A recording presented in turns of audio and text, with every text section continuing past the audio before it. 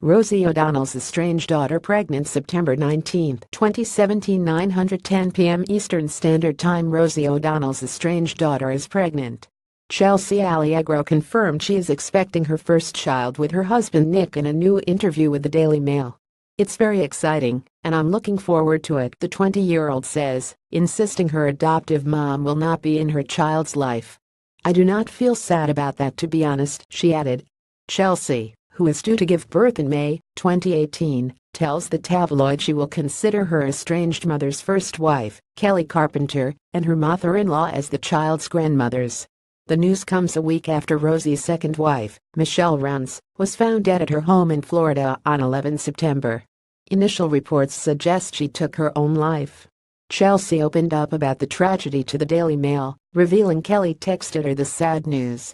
She told me that Michelle had committed suicide, and she wanted me to know before I found out any other way, the mom explains. I was shocked. It was very sad to hear about her death.